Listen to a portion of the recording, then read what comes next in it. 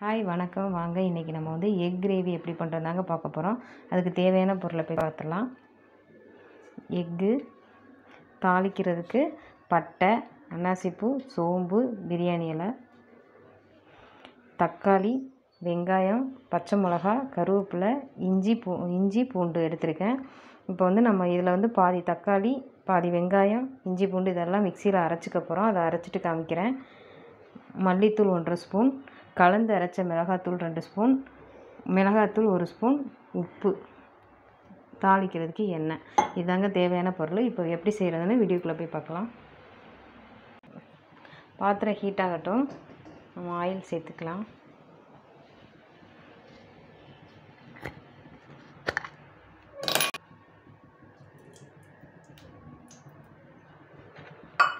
Oil heat ஆனோன்னே நம்ம தாளிக்கிறத சேர்த்துடலாம். எண்ணெய் ஹீட் ஆகிடுச்சு நம்ம சோம்பு சேர்த்துக்கலாம். அடுத்து பட்டை அன்னாசிப்பூ பிரியாணியெலாம் இப்போ நம்ம கட் பண்ணி வச்சுருக்கோம்ல ஸ்லைஸாக கட் பண்ணியிருக்கோம் பாருங்கள் வெங்காயம் அதையும் சேர்த்துடலாம்.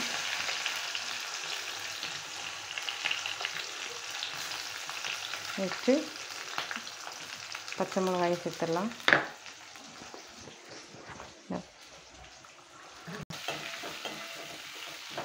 நல்லா வதக்குங்க. அந்த வெங்காயம் வந்து கண்ணாடி பதம் வர்ற அளவுக்கு நல்லா வதக்கிக்கோங்க. இது நல்லா வதங்கட்டும். சிம்மில் வச்சுட்டு நம்ம இப்போ அரைக்கிறோம் எடுத்துருக்கோம்ல அரைக்க அதை எடுத்து பார்த்துடலாம். பாதி வெங்காயம் இஞ்சி ஒரு துண்டு அடுத்து பூண்டு பல் தக்காளி ஒரு தக்காளி இதை வந்து மிக்சியில் அரைச்சி எடுத்துகிட்டு வந்துடுறேன். இதை பாருங்கள் இப்படி தாங்க அரைச்சிக்கணும். எதுக்காக இப்போ நம்ம அரைச்சிருக்கோன்னா கொஞ்சம் கிரேவி வந்து நல்லா கொஞ்சம் திக்காக இருக்கும். இப்போ பாருங்கள் வெங்காயம் வந்து நல்லா கண்ணாடி பதத்துக்கு வந்துருச்சு. நம்ம மீதி ஒரு தக்காளி எடுத்து வச்சுருக்கோம்ல அதையும் இதோட சேர்த்து நல்லா மிக்ஸ் ஆகும். நல்லா மிக்ஸ் பண்ணிடுங்க. நீங்கள் தக்காளி வந்து நல்லா மசிஞ்சு வர்ற அளவுக்கு வதக்கிக்கோங்க. பாருங்க தக்காளி நல்லா மசிஞ்சிருச்சு. இப்போ நம்ம அரைச்சி வச்சுருக்கோம்ல விழுது அதையும் சேர்த்துடலாம்.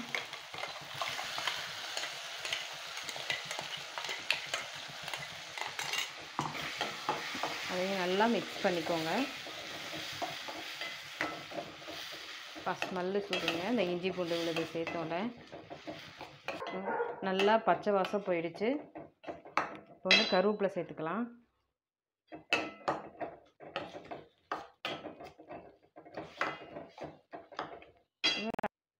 நெக்ஸ்ட்டு ஒவ்வொரு மசாலா ஐட்டமாக சேர்த்துக்கலாங்க. இப்போ எடுத்து வச்சுருக்கோம்ல மல்லித்தூள். அதை சேர்த்து நல்லா மிக்ஸ் பண்ணிக்கோங்க.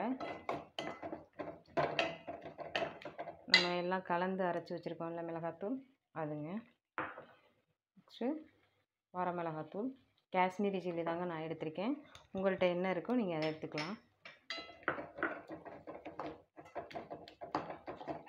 நல்லா மிக்ஸ் பண்ணிக்கோங்க.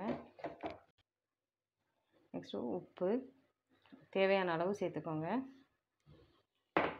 நல்லா எல்லாம் சேர்ந்து மிக்ஸ் ஆகி அந்த மசாலா வாடையெல்லாம் போனதுக்கப்புறம் நம்ம எக்கு சேர்க்க போகிறோம் இப்போ நம்ம மிக்சியில் அரைச்சி வச்சுருந்தோம்லங்க அதை நல்லா தண்ணி ஊற்றி கழுவி கொஞ்சம் தண்ணி சேர்த்துக்கிறேன்.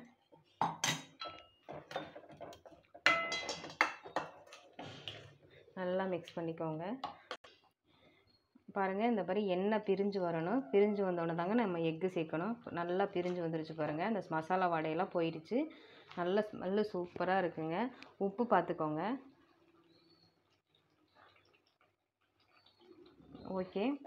நல்லா உப்பெல்லாம் கரெக்டாக இருக்குது இப்போ நம்ம எக் எடுத்துக்கலாம். முட்டையை இந்த மாதிரி நடுவில் ஒரு சின்னதாக ஒரு கீரிக்கிங்க அப்போ தாங்க மசாலா உள்ளே போனால் தான் நல்லாயிருக்கும் இல்லைன்னா சும்மா வெறும் அவிச்ச முட்டை சாப்பிட்ற மாதிரி தாங்க இருக்கும். எல்லா முட்டையும் நல்லா கீறி எடுத்துட்டேங்க. இப்போ வந்து ஒன்று ஒன்றா சேர்த்துடலாம்.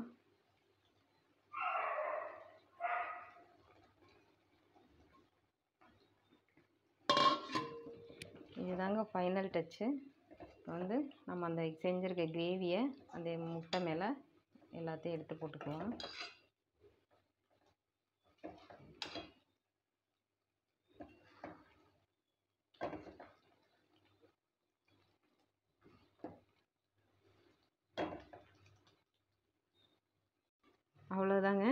இது ஒரு ஒரு கொதி லைட்டாக அப்படியே பப்புள்ஸ் மாதிரி வரும். வந்தோடனே நம்ம அடுப்பை கொத்தமல்லி போட்டு புதினா போட்டு மேலே ஆஃப் பண்ணிட போகிறோம் அந்த பப்புள்ஸ் வரட்டும் வெயிட் பண்ணுவோம்.